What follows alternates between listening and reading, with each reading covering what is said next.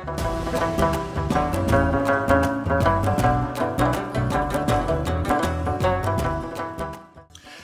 back after the break Quran पाक की तिलावत करने की सादत जिसे मिले और खुशलहानी भी हो तो क्या बात है।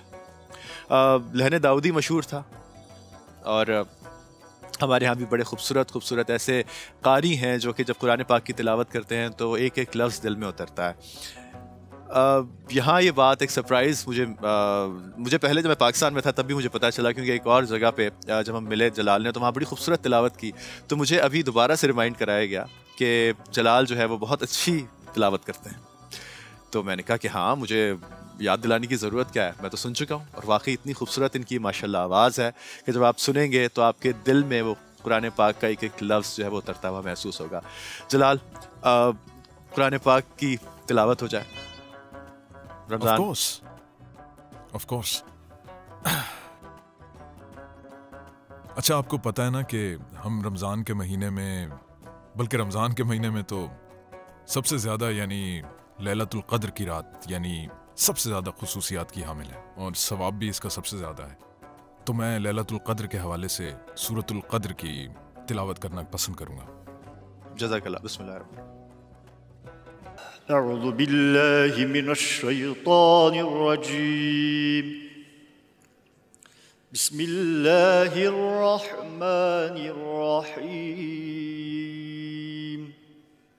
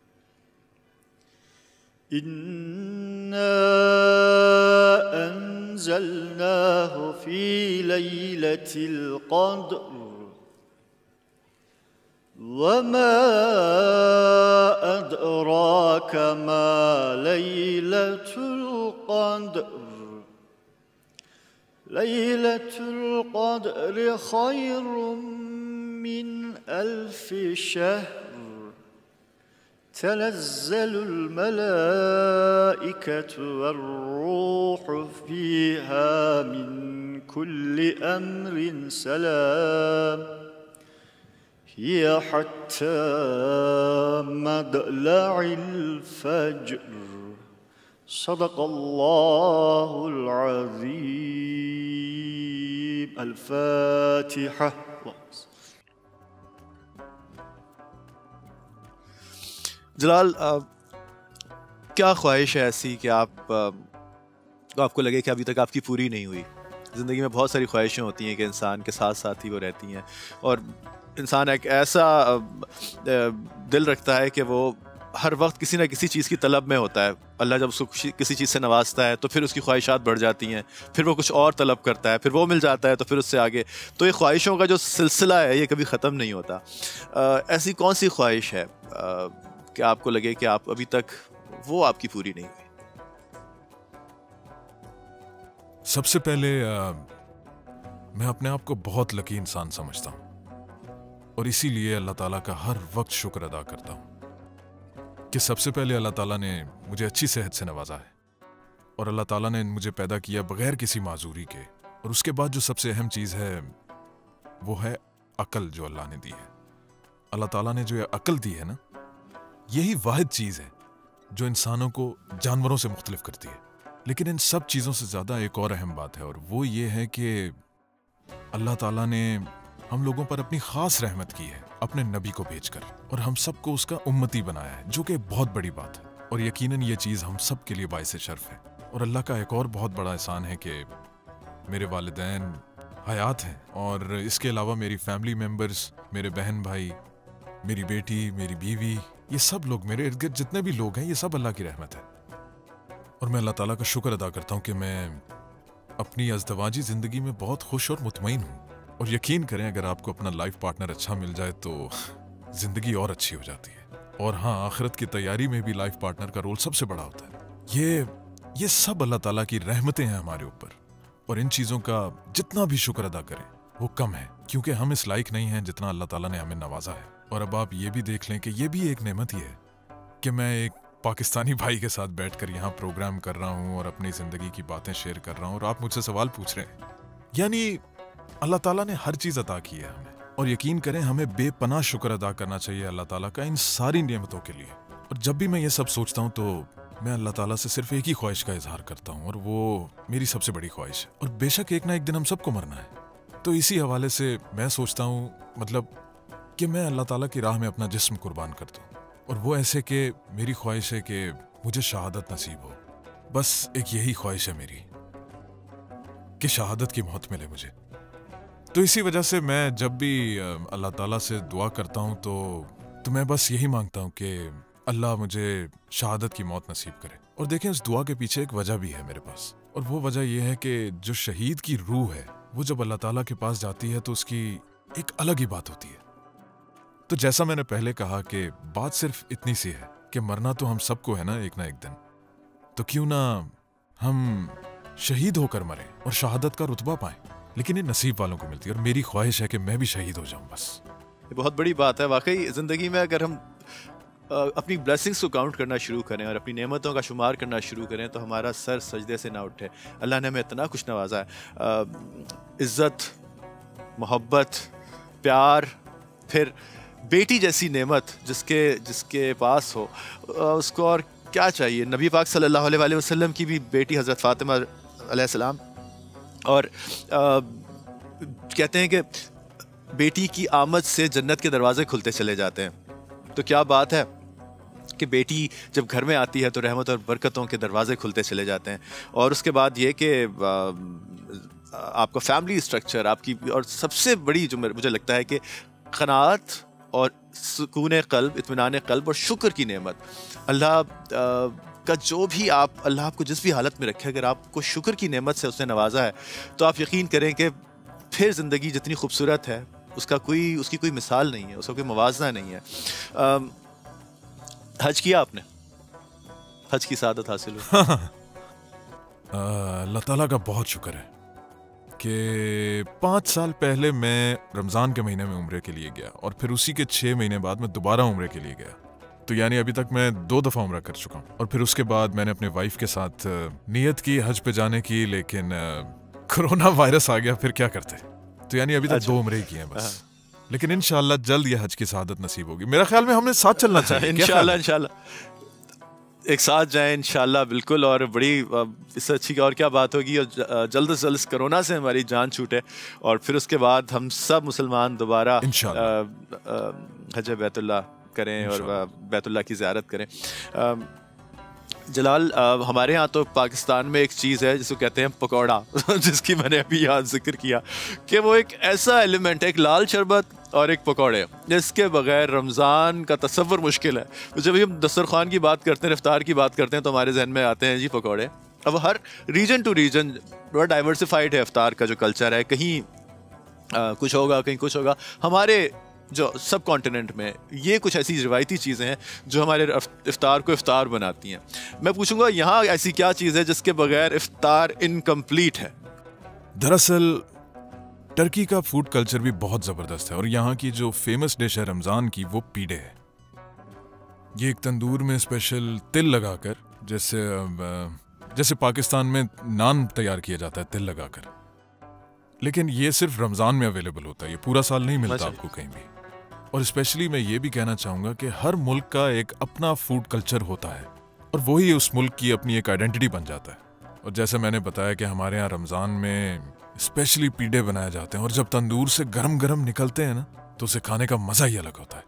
और मैंने आपके सामने अभी नाम लिया तो मुझे भूख लगना शुरू हो गई है क्योंकि ये होते ही इतने मज़ेदार हैं। और इसी तरह एक अंडे के साथ भी बनाया जाता है इसको और उसका भी अपना मज़ा होता है। और मैं तो वैसे ही खाने का बहुत शौकीन हूँ। और हाँ अगर मेरा कभी पाकिस्तान आना हुआ ना तो आपने जो भी डिश अभी बताई थी जिसका नाम लिया था मैं वो ज़रूर खाऊँगा आपके साथ। अभी से बता रहा हूँ मैं आपको। और हाँ बिरयानी खाने का बहुत शौक है मुझे पाकिस्तान आकर। क्योंकि मैंने बहुत सुना है बिरयानी और, और आप वो खा के जाएँगे और उसके बाद आप अगर दस दिन खा लिया आपने तो चार किलो तो वज़न आपका बड़ा ही बड़ा सारी फिटनेस गई है एक तरफ़। क्योंकि अच्छा एक तो डीप फ्राइड होते हैं हमारे खाने बहुत ज़्यादा फिर उनमें मसाला ज़्यादा होता है लेकिन ये जो तेल का एलिमेंट होता है लेकिन उस वक्त हम सब भूल जाते हैं और वो एक हौका होता है ना कि अफ्तार से पहले कि हमने खाना ही खाना है खाना ही खाना है सब एक चीज़ें लाख सोचेंगे इस रमज़ान में वज़न कम करना है। लेकिन इतनी वो पकौड़े तो मुझे इतने कोई पसंद है। और एक चीज़ हमारी फैनियाँ होती हैं जो कि अफ्तारियों में होती सहरी पे होती है। वो भी अल्हम्दुलिल्लाह कोई इतनी डीप फ्राइड होती है कि बस आप इतना सा खा लें तो आप मतलब चार दिन के लिए तो आपका फ्यूल बॉडी में तैयार है। लेकिन हम फिर अगली सैरी पे खा रहे होते हैं तो वज़न बढ़ता ही बढ़ता है। जलाल पाकिस्तान कैसा लगा? सच सच बताना। आपने इस्लामाबाद देखा, कराची देखा, लाहौर देखा सच लोग तो, तो अच्छे हैं ही मतलब लोग तो आपसे बहुत प्यार करते हैं। आ, लोगों को ये बताएँ कि पाकिस्तान देखने में कैसा है? जिन लोगों ने पाकिस्तान नहीं देखा तुर्की में और आप जरा अपने फैंस को अपनी नज़र से बताएँगे पाकिस्तान की क्या खास बात आपको लगी? इस्लामाबाद कैसा लगा? मेरा शहर कैसा लगा? पाकिस्तान जानता हूँ मैं। जानते हैं हकीकत यह है कि अपने सामने एक दुनिया का नक्शा रखें। लेफ़्ट साइड पर टर्की है और राइट साइड पर पाकिस्तान है और बीच में चार पाँच मुल्क हैं और। तो एक जंजीर लें और उसे तुर्की से फेंकें पाकिस्तान और उस फिर जंजीर से खींचे पाकिस्तान को तुर्की में ताकि दोनों मुल्क एक साथ मिल जाएँ। मैं तो सीरियसली ऐसा ही चाहता हूँ क्योंकि दोनों मुल्क एक दूसरे के इतने करीब हैं कल्चरली रिलीजियसली और हर तरह से। हाँ। और हम लोग आपस में कितना मिलते जुलते रहते हैं हमारा इतना पुराना ताल्लुक है हमारी इतनी आपस में अंडरस्टैंडिंग है। जैसे कि वहाँ पर बाबर गौरी थे और गाजी और इसी तरह पुराने जितने बुज़ुर्ग थे सारे रहे हैं वहाँ पर। ये सब एक साथ रहे, अल्हम्दुलिल्लाह। और इसी तरह हमारे कल्चर के साथ साथ बहुत सारी और चीज़ें ऐसी हैं जो कि सिमिलर हैं हम लोगों की। जैसे कि लैंग्वेज में बहुत सारे सिमिलर वर्ड्स हैं हमारे। जैसे कि खानम है, इसी तरह और वर्ड्स हैं। और यही तो ब्रदरहुड होता है। और इसी तरह तुर्की में जब भी कोई मुश्किल आई है तो पाकिस्तान ने आगे बढ़कर मदद की है हम लोगों की, हमेशा। और दूसरी तरफ़ पाकिस्तान में जब कोई परेशानी होती है तो हमारी भी यही ख्वाहिश होती है कि हम भी भरपूर मदद करें अपने पाकिस्तानी भाइयों की और बढ़ चढ़ कर साथ दें उनका। और जब आप पाकिस्तान जाते हैं तो आपको अंदाज़ा होता है, प्यार देख कर लोगों का। और इसी तरह जब आप तुर्की में आते हैं तो आपको पाकिस्तानी होने पर जो प्यार मिलता है यहाँ पर, उसी से पता चल जाता है। आपको कि हम पता है, आपस में मुझे कितने करीब हैं। जो शाह फैसल मॉस्क है इस्लामाबाद में। शाह कराची भी बहुत खूबसूरत वो भी वहदत दिलो के जो एक टर्किश आर्किटेक्ट थे क्योंकि मैं खुद आर्किटेक्ट हूँ और मेरा आर्किटेक्चर से ताल्लुक है तो मुझे पता है कि क्योंकि मेरे फादर जो थे उसके सिविल इंजीनियर थे उस पर डिप्यूट हुए थे तो वो मेरे पापा ने बनवाई है अच्छा सुपरवाइज किया। तो वो बताते थे कि टर्किश आर्किटेक्ट हैं और ये जो एक मेट्रो जो चल रही होती है ये भी ये वाला जो मेट्रो का जो निज़ाम है ये भी टर्की को देख के हम लोगों ने अडेप्ट किया। तो बहुत सारी चीज़ें आपको ऐसी नज़र आएँगी और मुझे इस्तंबुल आके भी इसीलिए अच्छा लगता है कि इसकी हवाओं में कुछ इस्लामाबाद जैसी खुशबू है। तो बड़ी अपनाइत का एहसास होता है और यकीनन अ, ये जो जोग्राफिकल बिल्कुल बाउंड्रीज होती हैं ये तो अपनी जगह लेकिन दिलों के रिश्ते करीब होना सबसे ज़्यादा इंपॉर्टेंट चीज़ होती है और मेरा ख्याल है कि पाकिस्तान और तुर्की के दिलों के रिश्ते जो हैं वो इतने मज़बूत हैं कि मैं जब भी पाकिस्तान से कहीं भी मैंने बाहर ट्रैवल किया जितनी इज़्ज़त और जितना प्यार मुझे तुर्की में मिलता है इतना दुनिया में कहीं नहीं मिलता। और इसी तरह मुझे लगता है कि तुर्की के लोग जब भी पाकिस्तान आते हैं तो उनको भी बिल्कुल ऐसा ही एहसास होता होगा जैसे वो अपने ही घर में आए हैं और अपनी बहन भाइयों से आके मिल रहे हैं। जलाल अ, पाकिस्तान की बात हो रही है तो पाकिस्तान के लिए कोई कौमी नगमा जो हम मिलके गाते हैं दिल दिल पाकिस्तान वो हो जाए?